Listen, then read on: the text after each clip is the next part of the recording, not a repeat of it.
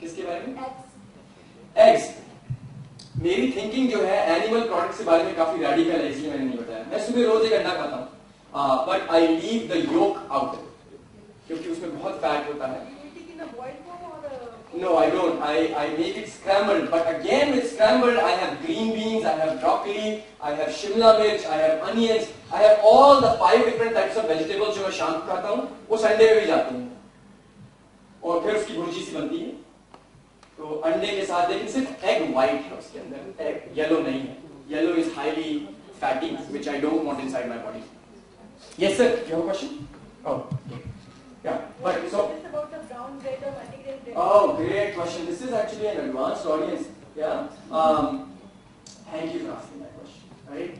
Eat whole wheat bread, not brown bread. Whole wheat bread. Okay. I'll tell you why.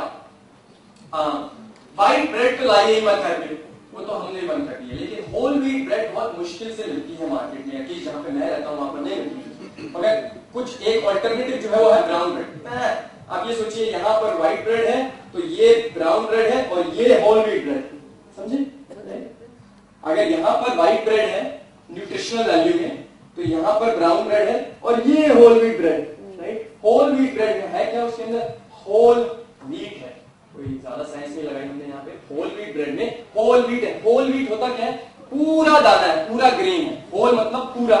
जैसे धरती से आया, वैसे ही साफ़ करके ब्रेड में डाल दिया। अब वो क्यों करते हैं ऐसा?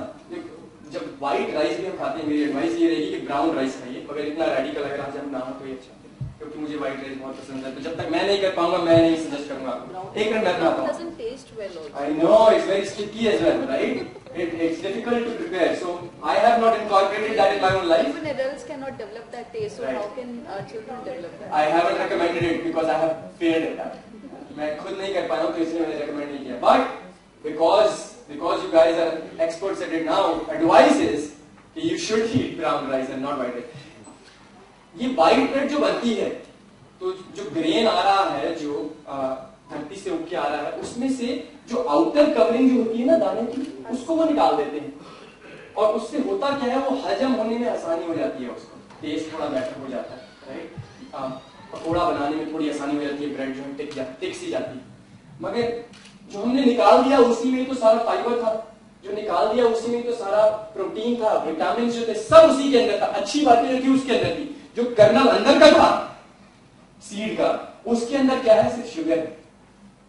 सिर्फ़ शुगर है ग्लूकोज है which is good you need that I am not saying you don't need it मगर आप सिर्फ़ वो ही खाएँगे तो आ, अच्छा नहीं है सेहत के लिए। और सिर्फ़ शुगर खाएँगे तो होता क्या है कि ब्लड शुगर आपने सुना होगा it spikes and then it drops right तो ये जब आप पिएँगे कोका कोला बेटा एक बार अगर आप इसको पिएँगे तो बॉडी के अंदर होता क्या है? शुगर गई बॉडी के अंदर बूम शुगर स्पाइक करेगी और फिर बूम ड्रॉप करेगी। बिकॉज़ जैसे शुगर बॉडी के अंदर जाएगी, हमारी बॉडी सेल्स से बनी होती है और सेल्स कहेंगे, मुझे दो खाने का right and they will consume all of that sugar they will consume all of that sugar right और फिर ड्रॉप होते ही फिर भूख लगेगी।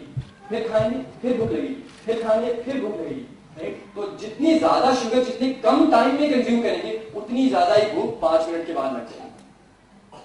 राइट तो अगर खाने को स्पेस आउट करेंगे जितनी ज़्यादा शुगर आराम आराम से धीरे धीरे खाएँगे दिन में पूरा पाँच पाँच छह छह बार खाएँगे उतना ज़्यादा बॉडी को फ़ायदा होगा इसको खाएँगे तो सारे दिन की मात्रा एक ही बार बॉडी के अंदर चली गई तो फिर बॉडी कहेगी मुझे दोबारा भूख लग रही है पाँच मिनट के बाद तो फिर कुछ खाएँगे any other question ma'am you had a question back there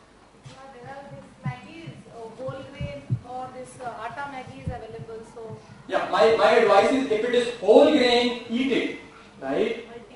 Multi-grain. Again they are cheating us, right? See what they are doing? They are cheating us. They, they know that some parents, some consumers know what multi-grain, whole grain means, right? It's better than no grain, right? Uh, but whole grain is best. जैसे धरती से आया वैसे ही साफ़ करके आपने खा लिया तो बॉडी के लिए बेस्ट है मल्टीग्रेन मीन्स हमने ये इसका थोड़ा ले लिया उसका रिफाइंड ले लिया इसका थोड़ा ले लिया और फिर थोड़ी चीटिंग हो गई आई डोंट लाइक दैट जब तक एज अ कंज्यूमर मुझे पता नहीं है मेरी बॉडी के अंदर क्या जा रहा है तब तक I am not satisfied right so whole grain whole grain is good anything else Is there any connection between this food calories, anything to do with the diabetes? there so i would i would say i can give you my best answer it may not be correct are you willing to hear that No. okay my best answer is that yes, that's there should be logically there should be right because आप उठे हैं मान लीजिए छह बजे सुबह दिन में तो फिर आपकी बॉडी को कॉन्स्टेंटली एनर्जी चाहिए। जब तक रात के दस नहीं बज जाती है फिर भी आप सो रहे हैं, तब भी आपका दिल धड़क रहा है, आपका दिमाग में ड्रीम्स आ रहे हैं, उसको एनर्जी चाहिए। तो लेकिन थोड़ी कम चल राइट लेकिन अगर आप आठ बजे खाएँगे, और बहुत ही मान लीजिए ब्रेकफास्ट में तो कोई नहीं खाता है रसगुल्ला, लेकिन मान लीजिए खा लेते हैं तो फिर ड्रॉप करेगा तो फिर एनर्जी कम हो जाएगी बॉडी राइट तो फिर आपको इस स्टेज में बिटवीन नाइन टू इलेवन बहुत भूख लगेगी। और इसीलिए लोग करते क्या है स्पेशली जो लोग ऑफ़िस में काम करते हैं here may be an advice for you as well at least जहाँ मैं काम करता था, सारा दिन लगे होते थे, कुछ ना कुछ खाया जा रहा है डेस्क पे अपनी। वो क्यों होता था? क्योंकि भूख सी लगी रहती थी। क्योंकि जितना ज़्यादा मीठा खाएँगे, उतना ज़्यादा शुगर बॉडी में जाएगी, उतनी जल्दी वो कंज्यूम कर लेगी, फिर खत्म हो जाएगी। फिर दोबारा भूख लगनी शुरू हो जाएगी। तो जितना ज़्यादा मीठा नहीं खाएँगे, और होल ग्रेन खाने का फ़ायदा भी यही है कि उसको डाइजेस्ट करने में बॉडी को थोड़ा ज़्यादा टाइम लगता है। क्योंकि उसकी आउटर को, कोटिंग जो होती है उसको बॉडी को ब्रेक डाउन करने में थोड़ा एक्स्ट्रा टाइम लग जाता है। और वो एक्स्ट्रा टाइम की वजह से जो शुगर की मात्रा बॉडी को चाहिए वो कंसिस्टेंटली धीरे धीरे धीरे धीरे मिलती रहती है। तो नेचर ने जो हमारे लिए बनाया है वो बेस्ट है। इसीलिए होल ग्रेन बेस्ट है। उसकी आउटर कवरिंग निकाल दी तो सिर्फ़ शुगर शुगर ग्लूकोज ग्लूकोज गई वो तो बॉडी फट से चढ़ा जाएगी so yes there should be but that's not research that anything else yes ma'am Uh, what about the fried food? Actually, over here we prefer or not? Yeah.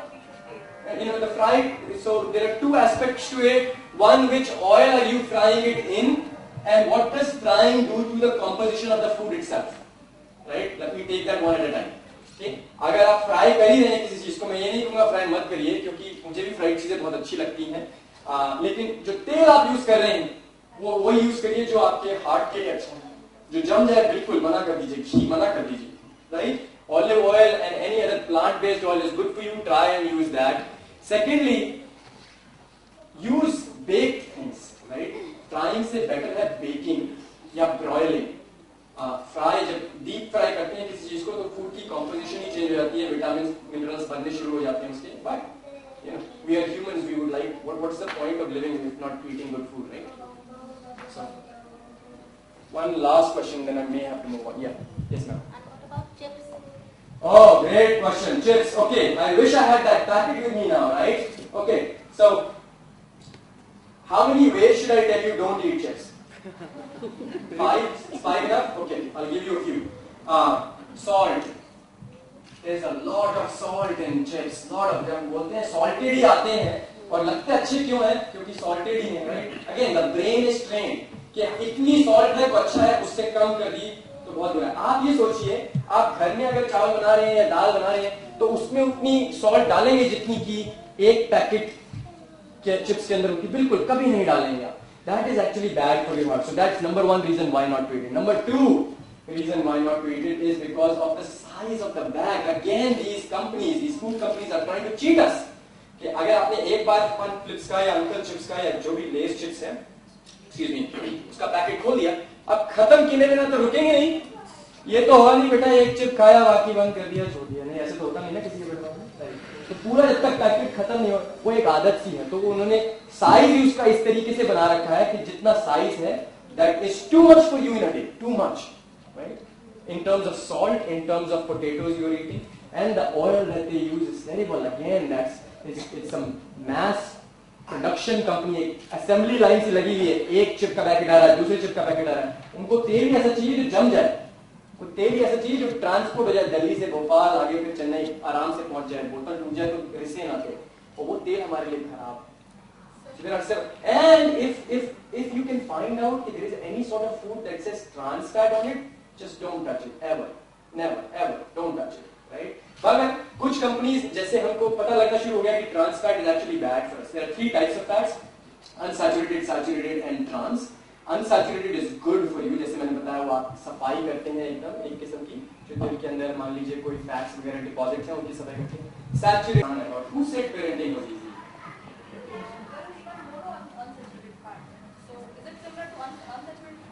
What is? Yeah, so there are two types of unsaturated fats, mono and di. Monounsaturated fat and di. They are both good. They're both good for you. Any any sort of unsaturated fat अगर आप देखें Britannia cake आता था छोटा छोटा जैसे समझ रहे हैं क्या बोल? ओके उसके अंदर अगर आप न्यूट्रिशनल फैक्ट्स में देखेंगे तो वहाँ पे लिखा हुआ है trans fat 2 grams don't need it I used to eat it a lot just a snack I don't need it I have to take one last question then I have to move on yes sir And you said that uh, packed fruits in the lunch. Pack fruits in the lunch yes But when I pass when it comes back, या तो मेरा बच्चा मेरी बात सुनता नहीं वाली बात हो रही है। तो वो नेक्स्ट सेगवे जो है वो मैम समझाएँगी थोड़ा आपको। लेकिन अब यू नो आपको लाइन ड्रॉ करनी है ना कहीं पे। मान मान लीजिए कल को आपको पता लगता है आपका बच्चा सिगरेट पी रहा है।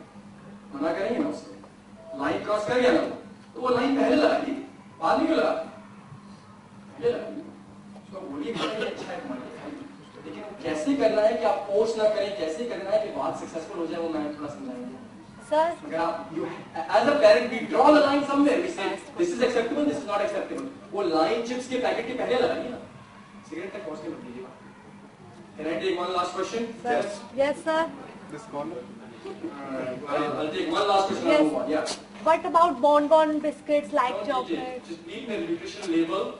Look at the amount of sugar in it. Right? I told you nine teaspoons for males, six teaspoons for females in one day. उससे अगर ज़्यादा हो रही है मात्रा आपकी तो कंज्यूम मत करिए. Okay? Thank you. I will be available at tea and lunch to talk as much as you want. And after that, I will give you my phone number. Call me if you need to. Thank you very much. Thank you. Good.